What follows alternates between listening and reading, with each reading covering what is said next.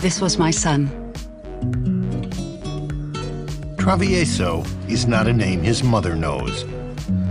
She knows him as Diego. This photo was taken there just the way I left him when he was 14 years old. He was a restless child.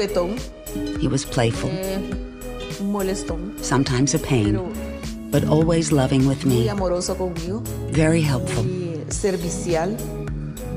I could always count on him for everything. We were always together.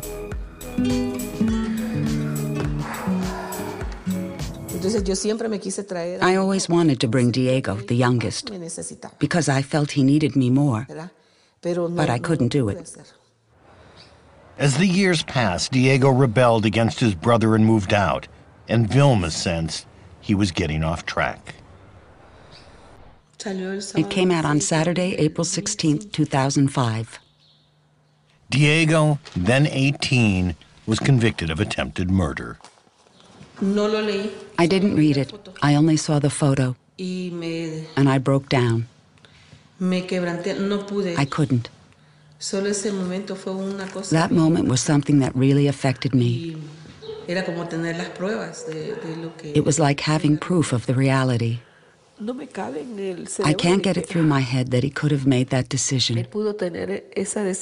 It's as if he were a different person. When I saw that terrible photo and saw that face of anger, of hate,